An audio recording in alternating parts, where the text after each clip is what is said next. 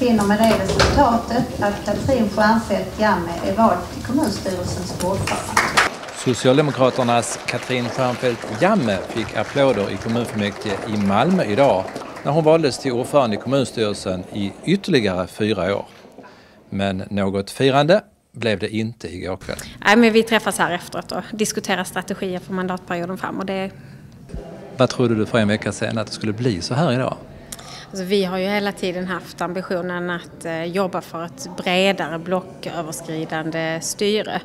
Eh, och jag ser att för att kunna fatta långsiktiga, stabila men också förutsägbara beslut som, eh, som ger Malmö kraft så är det önskvärt med bredare styre än det vi har formerat idag. Men det är väl Centern och Liberalerna du tänker på? Ja, man kan väl säga att i de här samtalen så har vår ambition varit att föra samtal med, med flera partier, både Centern och, och Liberalerna jag skulle väl vilja understryka att vi kom längst i diskussionen med, med Liberalerna. Centerpartiet var överhuvudtaget aldrig i närheten att diskutera politik.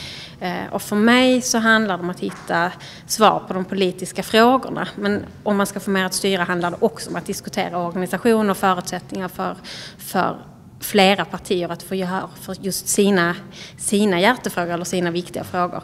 Och vi behöver naturligtvis eh, hitta kompromisser Eh, det ser vi från Socialdemokraternas sida och jag ser att flera partier behöver jobba nära tillsammans.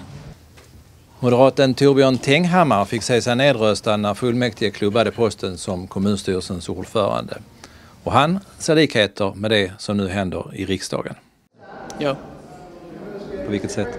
Ja, vi får ju se vad som händer där men det är klart att eh, inte positiva signaler för de som vill se moderat politik eller allianspolitik i Sverige.